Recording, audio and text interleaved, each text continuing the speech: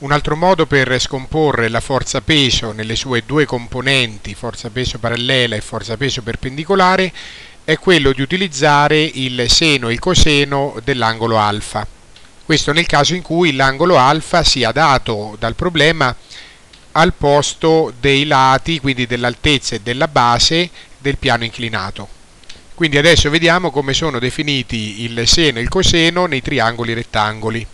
Questo è il piano inclinato, base 3 metri, altezza 2 metri e questo è l'angolo alfa. Per definizione, in un triangolo rettangolo, il seno di un angolo, uno dei due angoli acuti, l'angolo alfa, è dato dal rapporto tra il cateto opposto all'angolo e l'ipotenusa. Il cateto opposto all'angolo, eh, se l'angolo alfa è questo, il cateto opposto è h, è l'altezza. L'ipotenusa è L. Invece il coseno dell'angolo è dato dal rapporto tra il cateto adiacente e l'ipotenusa. Se questo è l'angolo, il cateto adiacente è questo, è la base, quindi B diviso eh, l'ipotenusa L.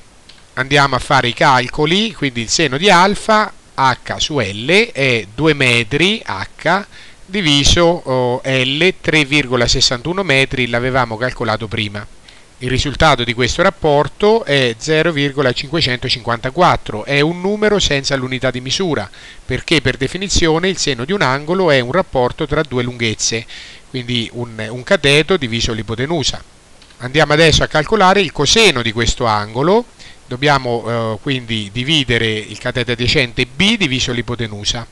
Il cateto adiacente B è eh, lungo 3 metri, è la base, 3 metri diviso 3 metri e 61 l'ipotenusa fa 0,831 l'unità di misura anche in questo caso non c'è. Giustamente abbiamo ottenuto oh, due risultati minori di 1 questo perché il seno e il coseno oh, degli angoli eh, sono sempre eh, valori minori di 1 in quanto sono definiti da eh, rapporti tra un cateto e l'ipotenusa e eh, sappiamo che in un triangolo rettangolo i cateti sono sempre più corti dell'ipotenusa, quindi il cateto opposto diviso l'ipotenusa fa un risultato minore di 1, perché il cateto opposto è più corto dell'ipotenusa e il cateto adiacente è lo stesso, diviso l'ipotenusa fa un rapporto minore di 1. Quindi seno e coseno giustamente sono sempre valori di minori di 1. Se uno trova un valore eh, uguale a 1 o superiore a 1 vuol dire che ha sbagliato. Ora attenzione che queste due formule H su L e B su L non vanno imparate a memoria perché eh, si, possono, si può sbagliare se uno le impara a memoria. Quello che bisogna imparare a memoria invece è la definizione cateto opposto diviso l'ipotenusa nel caso del seno catete adiacente diviso l'ipotenusa nel caso del coseno. Infatti, se noi andiamo a calcolare il seno e il coseno di quest'altro angolo acuto, cioè di beta, eh, vediamo che eh, non è più h su l e b su l, ma sono scambiati. Quindi il seno di beta è uguale al coseno di alfa, b su l, il coseno di beta viene uguale al seno di alfa. Questo perché? Perché non bisogna imparare a memoria h su l e b su l, bisogna imparare a memoria la definizione.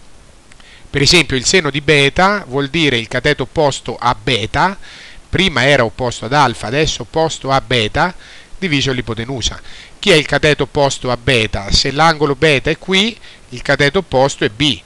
Quindi ecco che devo fare il cateto opposto b diviso l'ipotenusa, b diviso l. E, e invece il coseno di beta, qui c'è l'angolo beta, il coseno di beta mi serve il cateto adiacente, ma il cateto adiacente a questo angolo è h quindi h diviso l.